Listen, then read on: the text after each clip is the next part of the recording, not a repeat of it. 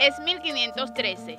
Los conquistadores españoles llegan a una tierra fértil bañada por un extenso río y fundan la segunda villa cubana.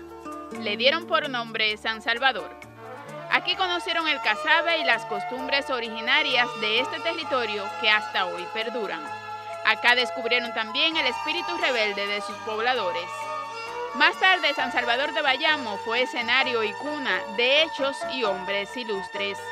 Hasta hoy nos acompañan no solo los orígenes, sino todo lo que surgió en aquella villa tan próspera. Todavía parece verse a Céspedes recitando un atrevido poema delante de los españoles, los acordes de una canción romántica en la ventana de Luz Vázquez, Perucho escribiendo copias del himno entre la multitud enardecida. Así vivimos aquí, como pocos en Cuba, alimentándonos de las evocaciones, de los romances pretéritos y nostálgicos. Es comprensible, fue en este trozo de tierra con olor a verdura y a machete, donde aquellos patricios nos avisaron que éramos nacionalidad más allá de suelo compartido. Llevar el orgulloso epíteto de cuna de la nacionalidad cubana significa conciencia de isleño, de pertenencia a un espacio que va más allá de lo geográfico. Esta ciudad identifica a todos los cubanos.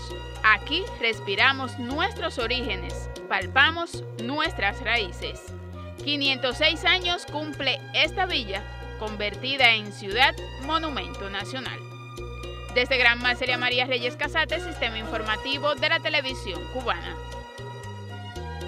Vuelve a salir el sol sobre.